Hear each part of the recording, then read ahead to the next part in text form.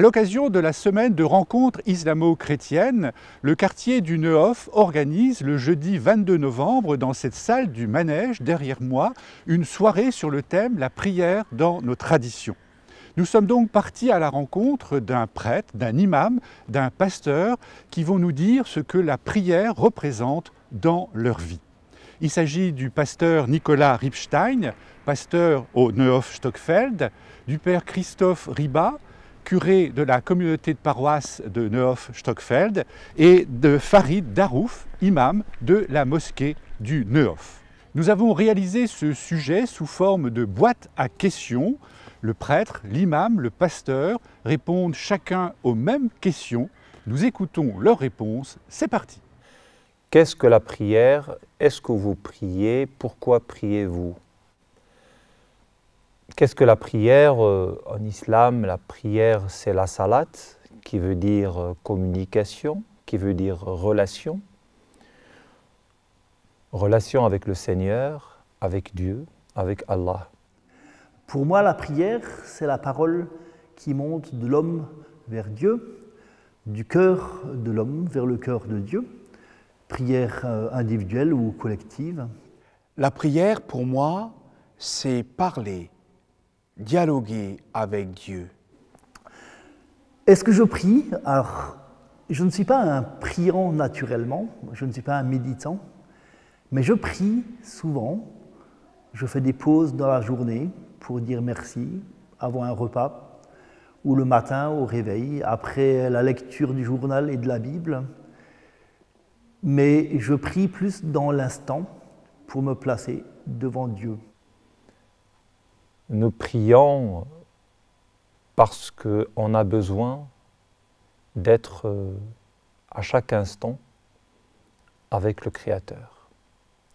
Nous prions parce que nous rendons grâce au Seigneur, le Créateur de l'univers. Je prie tous les jours. Pourquoi est-ce que je prie? Essentiellement pour reformuler ma vie devant Dieu, pour me sentir reconnu par lui, que je sois seul ou lors d'une visite, après avoir partagé quelque chose de fort avec une personne. C'est un besoin vital pour le croyant d'être en relation quotidienne avec le Maître de l'univers. Je prie parce que pour moi c'est un besoin. Cela m'apporte beaucoup de paix, beaucoup de joie. Cela me permet de faire une halte dans ma journée, de trouver un temps de tranquille, un temps de sérénité. Est-ce que vous priez tous les jours? Si oui, combien de fois? Dans quel lieu priez-vous? Nous prions chaque jour cinq euh, prières par jour. La prière euh, du sobh, du matin, c'est la prière de l'aube, avant le lever de soleil. La prière euh, de midi, c'est juste après le zénith. La prière de Asr, c'est à peu près deux heures après le zénith. Et puis, la prière du coucher du soleil, qu'on appelle la prière du Maghrib. Et avant de dormir, c'est à peu près une heure et demie après le coucher du soleil, c'est la prière du Isha. Nous prions aussi donc euh, euh, souvent la nuit, et surtout donc la prière du Qiyam du mois de Ramadan. C'est une prière qui dure presque un mois et qui commence le soir, ce qu'on appelle la veillée, du mois de Ramadan. Pour ma part, je prie effectivement sept jours sur sept. Combien de fois c'est variable? Je prie le matin par exemple, dans la prière, une prière silencieuse d'environ une demi-heure et puis la prière du matin environ 15 à 20 minutes. Jamais seul, je prie souvent avec mes autres confrères prêtres. Je prie tous les jours, mais pas de manière régulière. Je ne m'inscris pas dans une tradition de prière ou dans une communauté de prière, mais je prie tous les jours à différents instants de ma journée. Donc il m'est difficile de dire combien de fois je prie dans ma journée. Ça peut être une fois, ou trois fois, ou dix fois, selon les journées. Mais c'est voilà, moi qui suis comme ça. Dans quel lieu? Ça peut être euh, au presbytère, ça peut être euh, dans la salle à manger, ça peut être dans une chapelle, dans une église. Mais aussi, il m'arrive de prier seul à travers une promenade que je peux faire dans la nature ou dans la montagne. Ben, cela dépend où je suis. Cela peut être chez moi, lors de visites.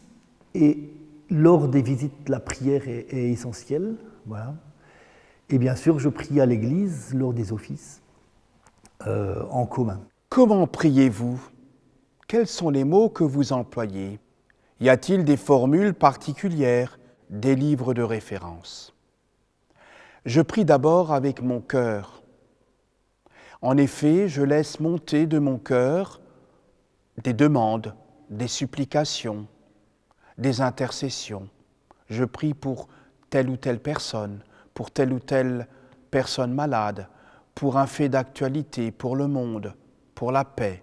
Nous prions, bien sûr, selon la tradition qui a été bien définie dans euh, la liturgie musulmane.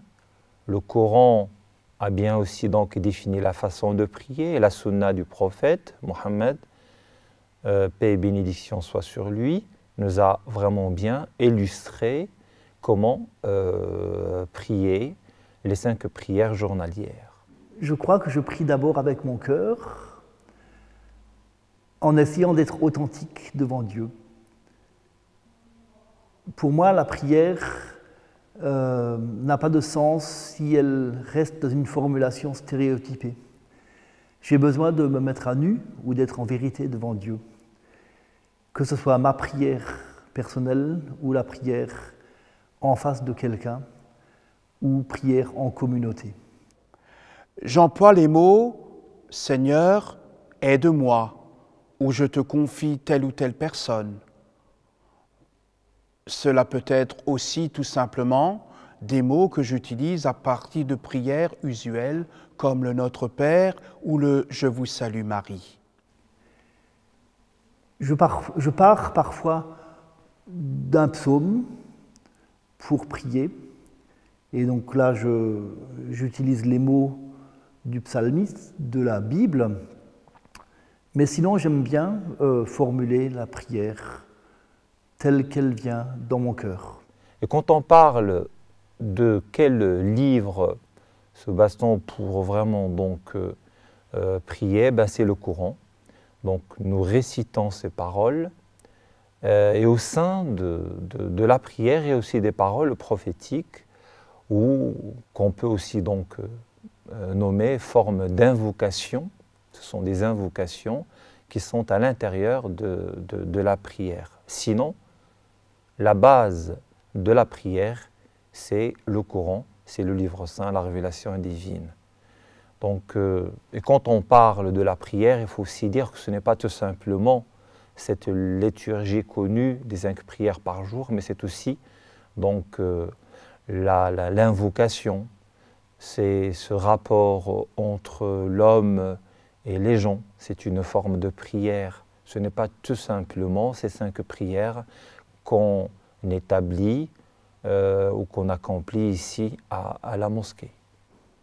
Donc je ne suis pas attaché à des formules particulières. Bien sûr, mon livre de référence, c'est la Bible, avec les textes poétiques, bien sûr, qui sont eux-mêmes des prières, mais aussi les extraits d'évangiles qui peuvent euh, nourrir la prière et éclairer notre vie, notre vie régulière avec la prière.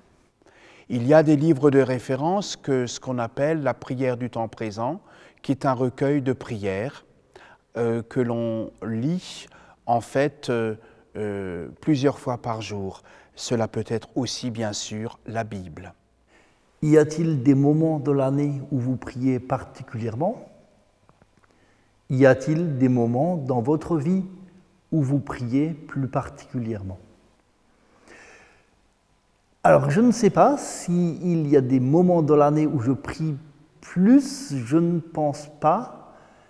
Sinon que pour certains événements importants, lorsque euh, les protestants se retrouvent pour un rassemblement régional ou national, nous prions ensemble et ça donne une force plus grande aussi à la prière et à la communauté. Mais je ne pense pas qu'il y ait des moments particuliers dans l'année où je prie plus. Cela dépend vraiment de, des événements, de l'instant. Très certainement, comme euh, vous le saviez, donc, euh, il y a un mois euh, qui est connu par le mois de Ramadan, où les musulmans prient d'une façon intense. Ce sont les veillées du mois de Ramadan. Donc c'est une prière particulière qu'on appelle la prière du. Donc sinon, sinon, le musulman est en prière tout le temps avec le Créateur.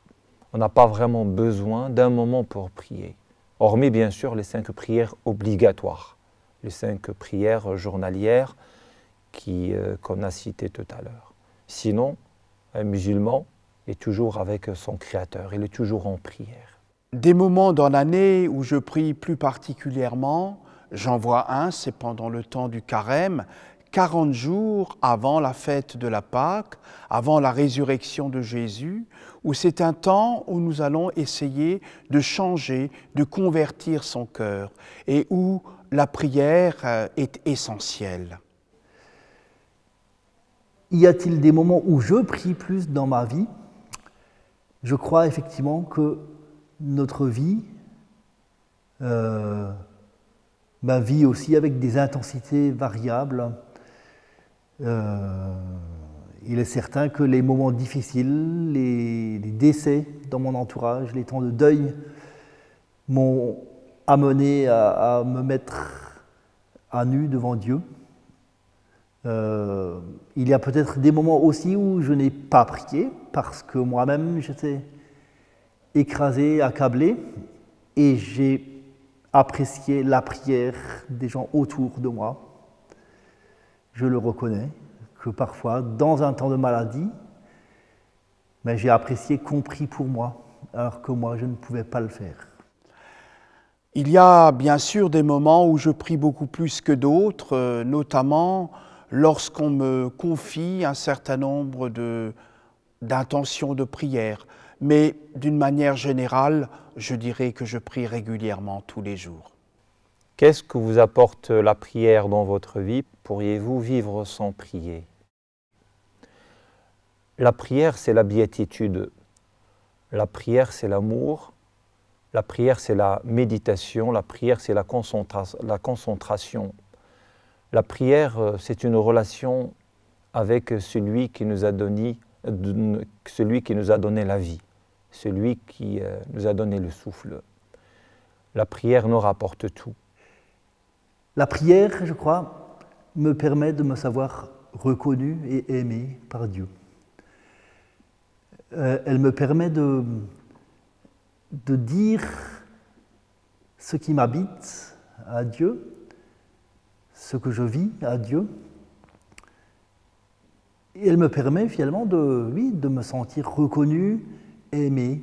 La prière m'apporte d'abord beaucoup de sérénité dans mon cœur, beaucoup de paix dans mon cœur.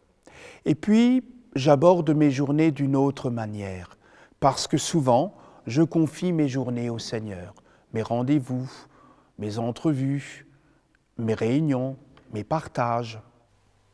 Euh, sans prier, c'est comme un poisson qu'on fait sortir de son milieu euh, de vie. Euh, sans prier, c'est comme euh, si nous vivons sans, euh, oxygène. La prière, euh, très certainement, c'est quelque chose de, très très important pour un fidèle qui sent qu'il a besoin de, l'être premier, le Seigneur, notre Dieu. Et je ne pourrais pas vivre sans prier. Ce n'est pas un rite, c'est juste une manière d'être vrai, d'être en vérité devant Dieu et devant mes frères et sœurs en humanité. Mais pour moi, la prière, c'est bien cet instant de vérité ou d'authenticité que je peux vivre devant le tout autre et en communion de pensée et de prière avec mes frères et sœurs qui sont avec moi ou au loin. Je ne pense pas que je pourrais vivre sans prier, parce que pour moi c'est un besoin vital. M'adresser tous les jours au Seigneur comme on s'adresse à un ami, pour moi c'est ma vie. Le pasteur, l'imam et le prêtre nous ont dit ce qu'était leur prière. Et eh bien maintenant, à vous d'échanger sur qu'est votre prière au cours de cette soirée. Bonne soirée à tous.